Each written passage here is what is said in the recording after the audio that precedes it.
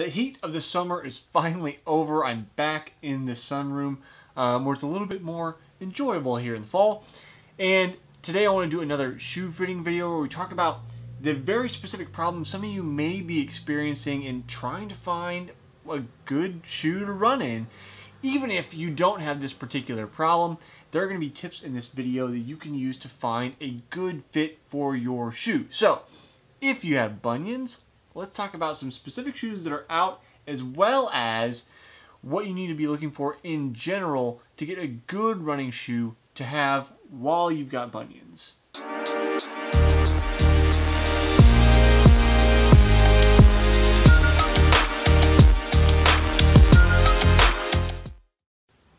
I'm Jesse Funk, the founder of Solpri.com and the host of this show, Runner's High, where we talk about everything running and running related, like today's topic, finding good shoes for somebody who has bunions. Um, so if you like running, stick around, hit subscribe. You get more videos every single week um, where I do this show, and I also do a really cool thing called a podcast, if you ever heard of that. We do a video version. I talk to um, all kinds of awesome people uh, on the Smart Athlete podcast. Uh, anybody from ultra runners to uh, Olympic rowers, and we talk all things sport. So it's a really cool show. You should check that out as well. But on to today's episode, where we're talking about how to find a shoe that's going to fit bunions. Now, I'm going to give some examples of shoes that are out right now um, that people like for bunions, but shoes change all the time. It, that means that, that, that any suggestion I can give while I'm recording this video is going to be very topical. So I want to go over what are the qualities of a shoe and why um, that you're looking for those things to get the right fit for you. Knowing that I spent oh, three and a half, almost four years fitting shoes full time for people um, with medical conditions to runners. So the whole gamut of people, we saw all kinds of different foot issues um, and getting the right fit for the right person for the right activity was my full-time job. So um, I am more than qualified to speak about this. So let's get on to what you're looking for in general before we get to the specific mentions of shoes. So today I want to use my handy dandy whiteboard, um, do a little bit of drawing. So uh, we're going to do some overhead shots and I'm going to show you kind of like what a normal quote unquote foot looks like versus a bunion, why we're making considerations for particular shoes. Um, so hopefully this will go relatively quickly. Excuse my drawing. It's been a long time since I've really spent any time drawing. Um, so, you know, not going to be the best. So we'll jump ahead to the overhead shot of doing the whiteboard and kind of showing what we're looking for in shoes. Um, and my video editor will hopefully speed me up as we're going through the drawing so you're not watching me draw in real time. So we've got our basic foot not a great drawing, so excuse me. But so with our shape here, we just have you know, our heel, it tapers to the middle and it comes out. Um, we've got our comic toes here. You know, largely your big toe is bigger than this. And then onto our bunion toe. Uh, let me draw that here real quick. So, in comparison, we get to our, see if I can do this. We get to our bunion and it produces this large, you know, lump on this side, which can be painful for some people. Other people, it's not going to be. But you can see the basic problem, right? Is that it changes the fundamental shape of your foot. So many shoes are not going to fit. Shoes are built on what's called a last. And a last is eh, basically a model replica of a shape of a foot. There are many different types of shapes of feet, and the last is the uh, attempt to replicate a certain shape. Now, the other thing to take in consideration when you're talking just shoes is that these are 2D models of feet, and we're working with 3D models. So we can talk about this in another video, um, but dealing with your instep, how tall your foot is, also changes uh, the dynamics of what kind of shoe you're going to be in. So like, I know I have a higher instep on my right foot, that's the height of your foot, then I do my left foot, and that changes the genesis of which shoes to choose for me.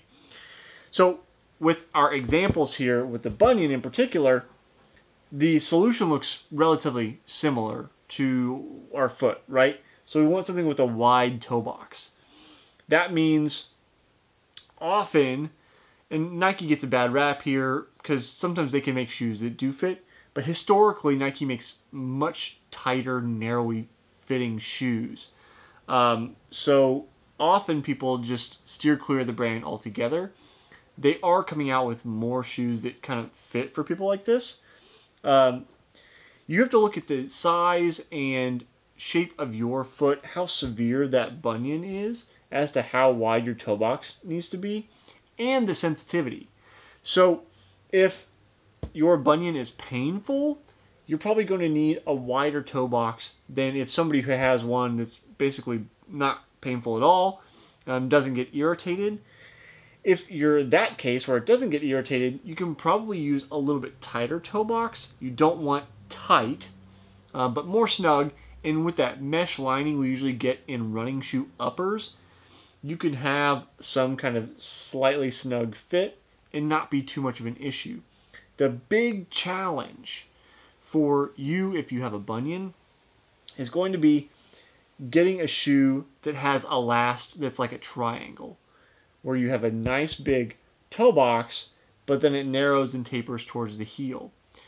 So uh, I worked at a New Balance store, and New Balance is known for having various sizes and widths, which is great if you need to get a you know a bigger shoe. So some people have wider feet than others, not just shape consideration, but that's a volume consideration.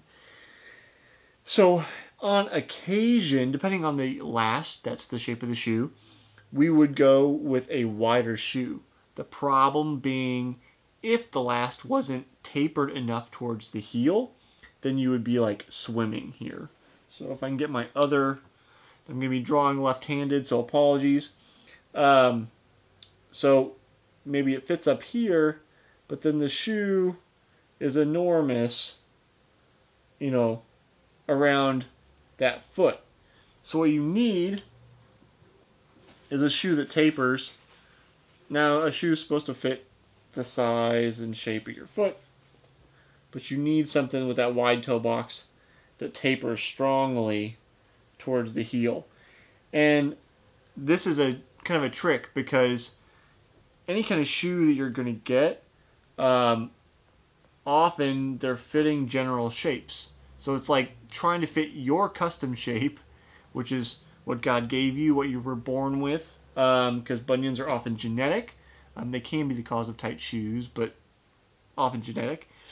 Um, so you're trying to fit your custom shape, your unique foot, into a general shaped shoe, and that's the challenge. So those are the general characteristics. Let's go over some of the shoes out now that have been recommended by people on Reddit who are dealing with this problem been fit recently. Uh, now that you know the general characteristics of what you're looking for, we can go over some of those specifics, uh, at least for the time of this video. Number one is the Brooks Ghost series. is the Ghost 13 that we could find at the time, but it does look like they're transitioning over to the new model. Um, neutral shoe, uh, pretty traditional heel to toe drop, 12 millimeters. Um, so it's going to have that you know taller uh, stack height differential and then again, neutral shoe Brooks has been around forever, so you know they're going to be making roughly the same shoe day in day out. Uh, this is one of the reasons like I've personally gone back to um, wearing some shoes from Asics because they kind of make traditional running shoes. Um, this isn't always going to be necessarily the best fit for you, but as an aside for shoe challenges, if you can find a series in one of the established makers or in a new shoemaker that you are confident is going to keep characteristics similar between shoe models. Um, that's what I like.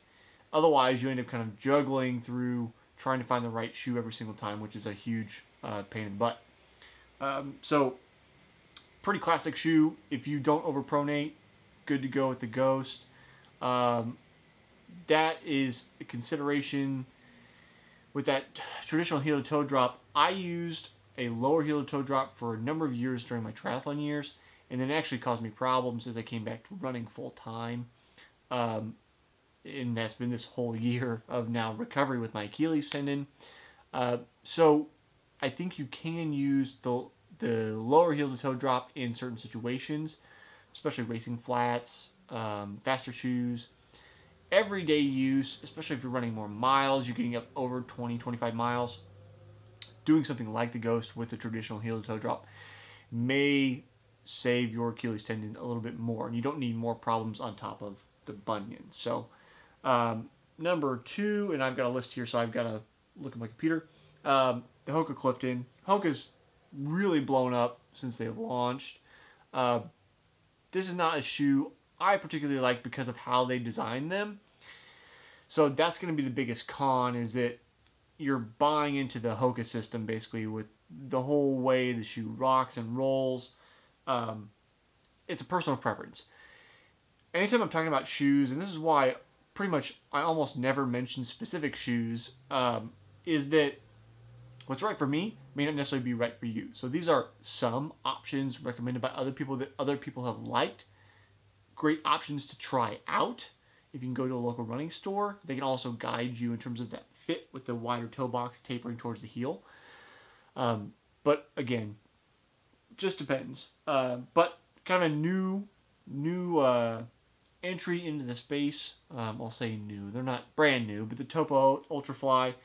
Uh, this is a shoe that fits that lower heel to toe drop category, but it's also a stability shoe. So if you have a bunion and you overpronate and you like that lower heel to toe drop, five millimeter drop, at least at the time uh, of this video, then that's an option for that more kind of like natural midfoot, forefoot kind of striking pattern, which you can do in a traditional 12 millimeter shoe. Um, I'm wearing a 10 millimeter now, and I can still do that even with the Achilles issues and my low mileage. Um, but again, personal preference, if that's the style you want. So that kind of covers the gamut. There are more shoes to choose from, but I like these three as recommendations because we can go very traditional shoe with the Brooks Ghost uh, and neutral, so it's going to cover a wide variety of people. Uh, you know, Hoka because Hoka does what Hoka does. Um, the Hoka Clifton, and, and then Topo's Ultrafly, uh, Ultrafly Floor 4 as this comes out um, because it's a newer maker, new kind of shoe, newer style. It it gives credence to there being room for new shoe styles for people that aren't currently served by kind of the traditional Ben. Um, that being said, there are a couple other things you can do besides shoes or just the perfect shoe to help alleviate some pressure, alleviate some pain when you're running. So I want to talk about those and kind of, you know, circle out our video with the last tips I have for getting a good fit with the shoe and the bunion when you want to go run. And my last two tips are really modifications to the shoe. So in my opinion, you want to start with the shoe first, get that right, and then if you need to make modifications from there, do so. Um, and those two modifications are lacing and arch supports. Uh, arch supports can be controversial depending on who you're talking to. In this case, why we would be using them is to alleviate pressure from the area of the bunion because we know if we have more pressure, more um, beating basically on that bunion, that can cause it to grow and become worse over time, which can again result in it being more painful and harder to fit as you're running. You're already putting a lot of pressure on it as you're running, a lot of pounding and mileage, so you don't need to add to that. Whole idea, and we always demonstrate this with our hands, if you pretend that this is my foot, you know, this is my arch, got a big bunion here, like a sticky out thing, can't make my finger do that, but pretend there's a bunion there. When you use an arch support, now instead of pressure coming here, initial pressure is going to be coming in the middle of your foot instead of at the front. So without it, maybe you land, roll, and you get a lot of pressure here. It's pressure displacement. So you're still going to have the side forces of the shoe acting on your foot, acting on that bunion, and you're still going to have pressure as you roll through toe off.